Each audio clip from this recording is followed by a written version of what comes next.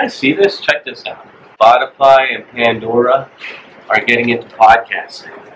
And so what's going on right now is they're trying to capture more listenership, more online listenership. And what what the reality is, there's so many people still listening to radio that moved over to podcasting that the opportunity is huge. Daniel Ek, Spotify CEO, says the vast majority of minutes that are being spent on radio today have not yet moved online.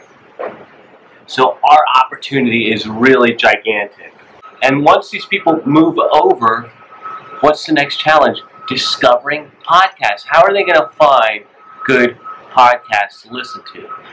Pandora, Spotify, they think their AI is going to be the key factor in that, and if they can get that on, then they're going to be able to keep listeners on their platforms longer and monetize through ads. Thing about it is they haven't figured out how do we make money with podcasting, and they're trying all different types of ads, whether it's a pre-produced ad or a live read, and they're just not hitting the mark yet.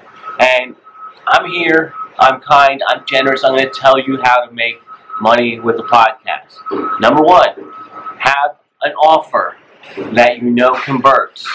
Number two, have an email list. Number three, sell your stuff.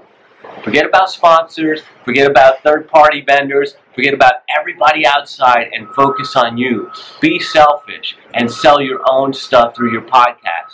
That's how you do it.